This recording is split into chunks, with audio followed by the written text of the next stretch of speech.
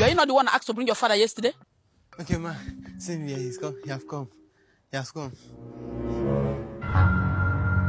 Shey na eyes dey pay me and dey wetin be dis? This man Yes, ma. is your father. Yes, ma.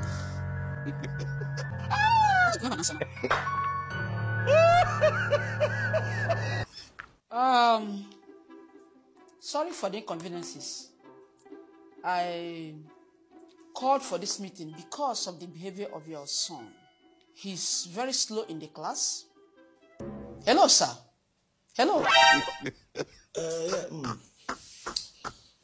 My son said uh, you, you called for the meeting. I said, your son does not pay attention in the class.